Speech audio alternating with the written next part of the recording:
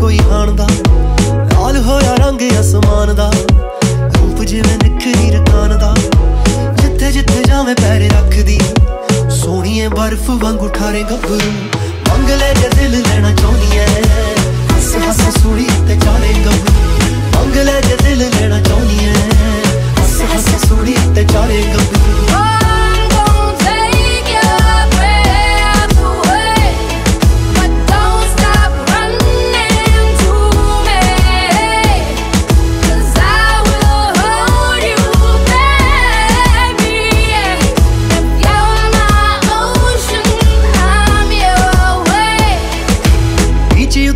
ਵਿੱਚ ਆਈ ਹੋਵੇ ਦੋਵੇਂ ਪਾਸੇ ਕੋਈ ਨੀ ਮੋ ਰੂਪ ਤੇਰਾ ਧੁੱਪ ਚ ਨਾ ਖੁਰਜੇ।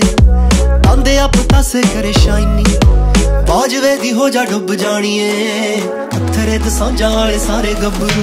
ਮੰਗ ਲੈ ਜੇ ਲੈਣਾ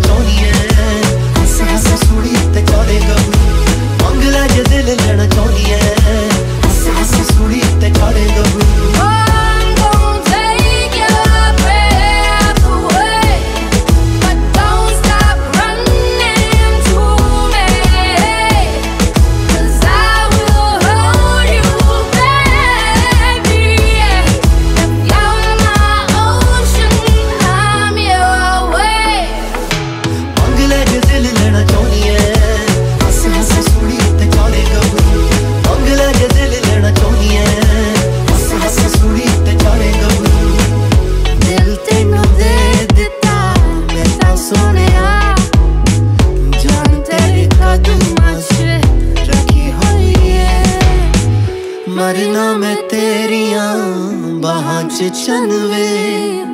ਸੋ ਤੇਰੇ ਪਿਆਰ ਦੀ ਮੈਂ ਚੱਕੀ ਹੋਈ ਏ।